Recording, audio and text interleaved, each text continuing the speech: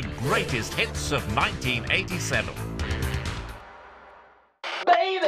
Welcome back to the countdown of 1987's biggest selling smash hits from 30 to number one.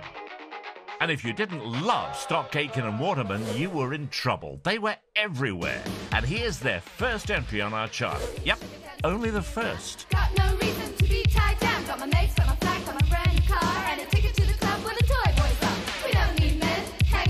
1987, the year that Stock Aitken and Pete Waterman changed the musical world. They had a sound, they had a style, they had a system. They were gonna milk it. Ain't got money, people think it's funny. He gives me everything I need. He's my play. a young record executive called Simon Cowell used to regularly come into the studio and his label Fanfare Records had had a big club hit with Sinitta and was struggling to find a follow-up for it. He would often turn up to our PWL reception uninvited. He was coming in and just hustling to get Stock Aitken Waterman to finally work with Sinitta. And that happened after possibly six to nine months of, of pushing them to do so, and they came up with Toy Boy. It was just lots of fun. People saw it as a bit of a kind of women's lib kind of track, which is not necessarily how I meant it at the time, but it was me sort of extolling the, the benefits of dating someone my own age as opposed to someone who was many, many years older. I could do with a toy boy now, to be honest. At 13, sadly, stars of pop had to pull together once more when tragedy struck.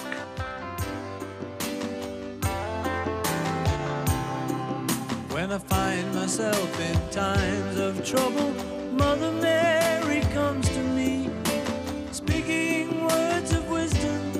Let it be. That Let It Be Ferry Aid record was big achievement, and we made the record in two days. Uh, uh, was mixing it by the Monday, uh, and had it in the shops by the end of that week. It was just uh, uh, an incredible experience.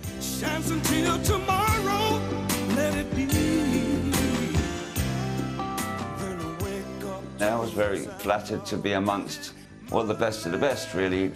It's a real who's who in, in pop. Mark Knopfler plays a solo. He appears to have brought about 20 guitars to the studio. He's sitting there surrounded by guitars. And then, of course, you get the other solo, the more kind of metal one, from uh, Gary Moore, who appears to have come in his dressing gown.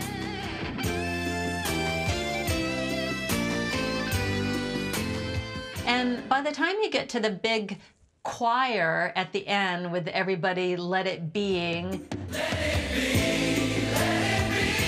There's some pretty big names. And there's Rick Astley's over there and Errol Brown, Suzi Quatro. They didn't get their own little moment in the sunshine. Don't worry, they're not done yet.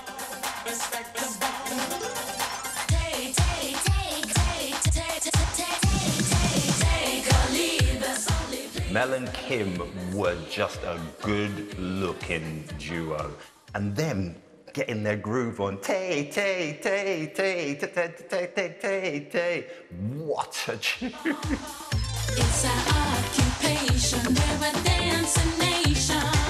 We keep the pressure on every night. These two girls arrived on the scene, bubbly, East End, full of energy girls, and Stock Aitken Waterman were, uh, were always fantastic at writing songs, especially for the artists, and trying to capture some of their character. Explanations are complications.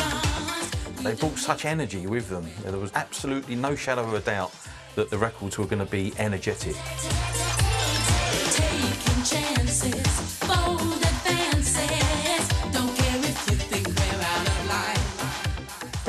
Me was like the best of Stock and Waterman because it was a little bit of the sort of classically trained musicians and you know very very very skillful, but then they added the sort of pop. That was that was the beginning really. So here we are, the top selling song of the year. But who's in pole position? Clues, please. I think for many of us, this is where um, we all have our fondest memories of being on the disco dance floor. It's a great record and it's a great vocal. And it's actually a great song.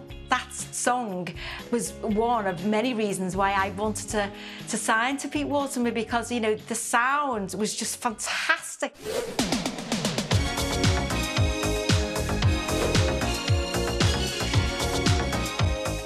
Yes, it was just the start of Stock, Aitken and Waterman's global chart domination that went through the rest of the 80s and beyond. And it was all thanks to the Studio T-Boy. We're no strangers to love. You know the rules, and so Pete Waterman signed Rick Astley as an artist with the intention of developing him as a solo artist, and he only told that to Mike Stock and Matt Aitken in the building. So uh, our initial meeting with Rick was, you know, I take mine with milk and no sugar, thanks, Rick. Cheers. never gonna give you up, never gonna let you down, never gonna run around. The, the boy next door until he opens his mouth, and then boom, that voice. Gonna say goodbye, never gonna tell a lie and hurt you. We first heard Rick Astley before everybody thought he was black. White guys didn't sing baritone, really. Now, this guy came out with. And so do I. That's what sorts out the men from the boys. It's all right having a baritone, but can you go up that octave? And he could. That was what made him different.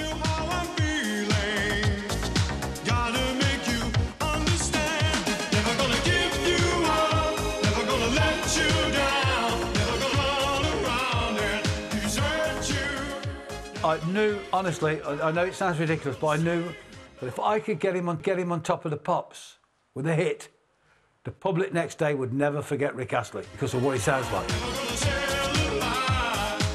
And that's exactly what happened.